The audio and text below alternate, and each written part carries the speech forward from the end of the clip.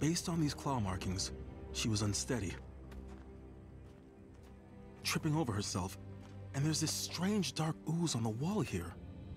Was she sick?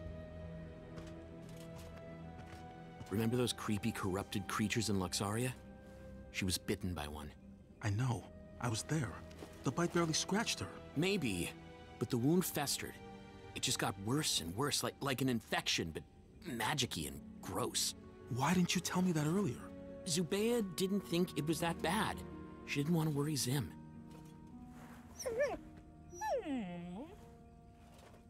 Oh, I know. Whenever I have to talk to you about this stuff and Zym's around, I'll just use word hands. it's this fun game where you act out words. We, we play it at parties. I'm familiar. Well, that can't be true. Because you don't go to parties.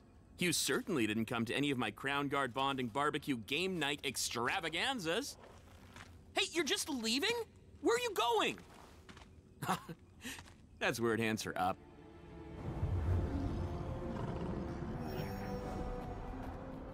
There's an unusual stretch of flattened forest a few miles out.